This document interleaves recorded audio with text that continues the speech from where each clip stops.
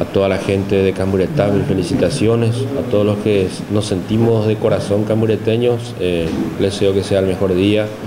Estamos cumpliendo 67 años de elevación a categoría de distrito, estamos, gracias a Dios, pasando por un buen momento eh, político, por un buen momento eh, financiero, la municipalidad, gracias a Dios, está llevando adelante todas las obras que nos hemos puesto en el proyecto. Hasta hoy ninguna de las obras que, nos hemos, eh, que hemos iniciado no se han postergado y lo más importante es que estamos tratando de acompañar la parte pública con el crecimiento gigantesco que tenemos con la parte privada. Muchísima gente en Camburetá están migrando, están adquiriendo propiedades, construyendo viviendas, duplex, y así también para que hoy Camburetá, con estos 67 años, pueda tener una imagen diferente.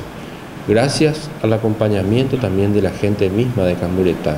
Esto que se está construyendo en Camburetá, que se está hablando, la imagen que estamos teniendo, no lo construye solo el intendente, construye la ciudadanía toda, nos acompañan los funcionarios municipales, nos acompañan los concejales municipales y ojalá que este nuevo cambio de, de gobierno ¿verdad? nos ayude más, que no nos vengan a a tratar de interrumpir, sino pedirles a todos que nos ayuden. Y yo estoy convencido, atendiendo un poco que contamos con un gobernador que conoce Camburetá, contamos con un vicepresidente que conoce también Camburetá y vamos a ponernos toda a disposición para traer beneficios a nuestra ciudadanía.